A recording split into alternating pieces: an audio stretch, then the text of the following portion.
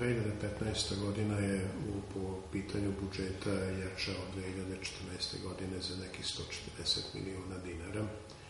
E, ta sredstva koje smo kao direkcija dobili e, više odnosu na prethodnu godinu e, će se potrošiti uglavnom na putnu infrastrukturu i na izgradnju objekata, sportskih objekata. Znači, ostali programi uglavnom ostaju na istom nivou kao prethodne godine, što znači za održavanje e, higijene i zelenila, e, za održavanje javne rasvete, održavanje semafora, održavanje e, fontana i česama ostaje otprilike ista, ista količina sredstava kao iz prethodne godine.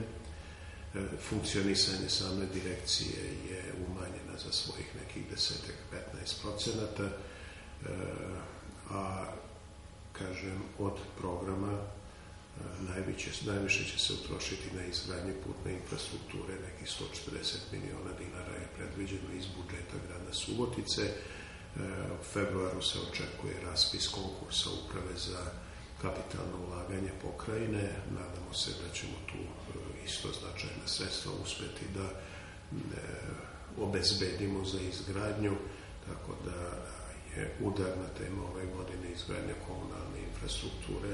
Bez komunalne infrastrukture svi znamo da nema ni napretka ni boljitka. E, I druga udarna tema je odvođenje atmosferskih voda, to znamo prošle godine e, i u prethodnim godinama nije bilo dovoljno sredstava, uvek je to nekako bilo stavljeno u drugi plan ove godine, znači odvođenje atmosferskih voda sa e, javnih površina puteva je predviđeno 15 miliona dinara. U tim programu će, s tom programu će se e, raditi e, skidanje bankina, iskop ili čišćenje upojnih jarkova i drugi vidovi odvođenja vode.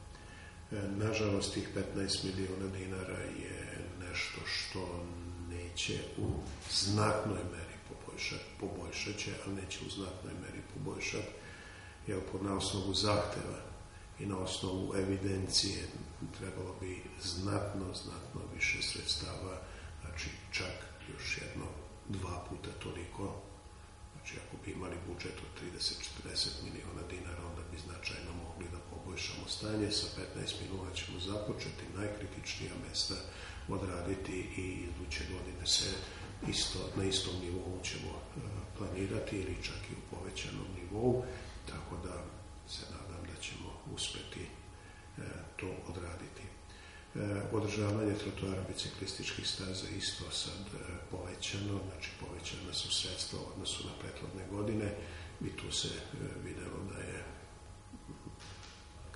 zanemareno je, nije bilo sredstava za, za održavanje ove komunalne infrastrukture tu isto smo malo pojačali. E, što se tiče investicija, e, prvo ću govoriti o investicijama koje će se raditi iz budžeta grada Subotice. To je nastavak e, rekonstrukcije Doma kulture u Tavankutu, započeta rekonstrukcija krova objekta Trokadero u Aleksandrovu, doma, krova Doma kulture u Žedniku, u Novom Žerniku, e, sanacija dela fasade objekta Jadran, Sokolski dom, e, tu se odnosi na taj deo fasade, znači da se uklone samo opasni elementi fasade, ne možemo, nažalost, da e, sveobuhvatno počnemo sa rekonstrukcijom fasade, ne imamo toliko sredstava. Radit će se i rekonstrukcija krova objekta Stare Berze, to je objekat na uglu preko puta dečijeg dispanzera.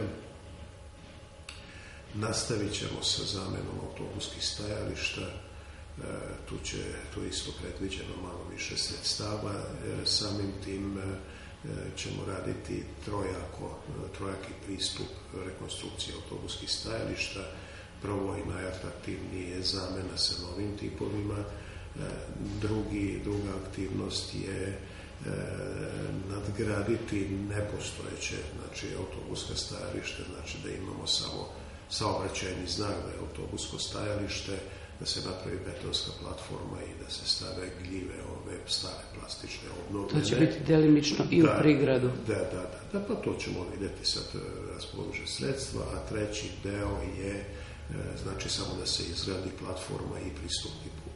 Sad koliko će doteći ih tih 8 miliona dinara, e, tu smo znači, planirali da ne idemo samo na, u jednom smeru, ipak da što više tih autobuskih stajališta na primjeren način dovedemo u neko ispravno stanje za korišćenje. E,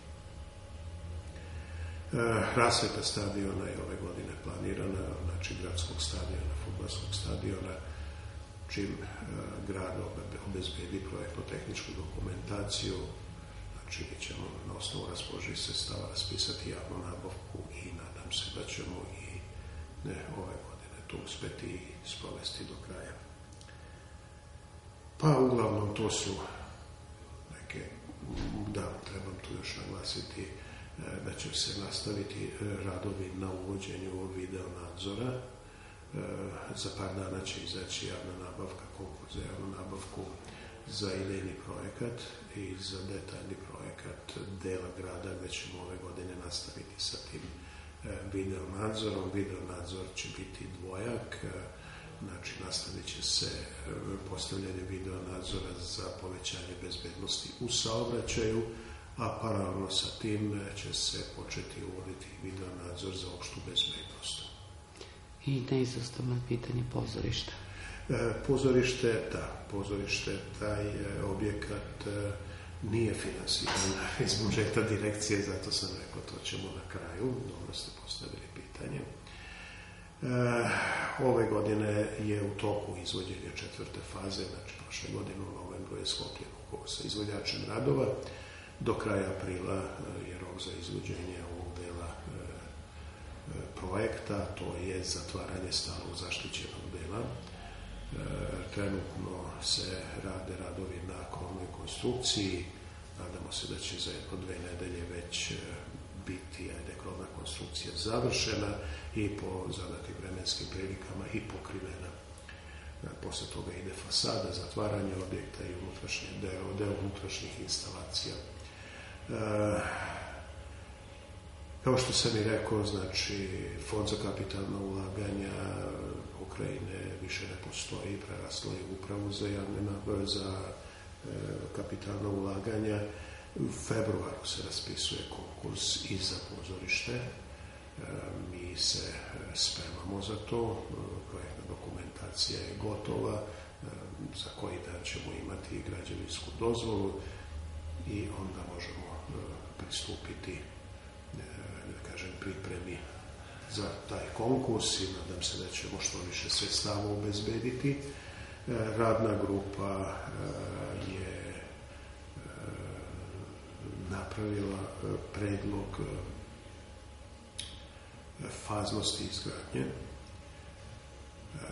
taj predlog će biti prezentiran uskoro i e, investitorima. E, nadam se da će investitori biti, ajde da kažem, voljni da učestvuju, dobra namera postoji, znači, prevenstveno e, govorimo o Republici i o pokrajini i ako uspemo e, po toj dinamici koja je ta radna grupa na neki način predvidela, e, da do kraja 2018. godine bi da imamo funkcionalno pozorište, barem delimično, znači da već možemo predstave da gledamo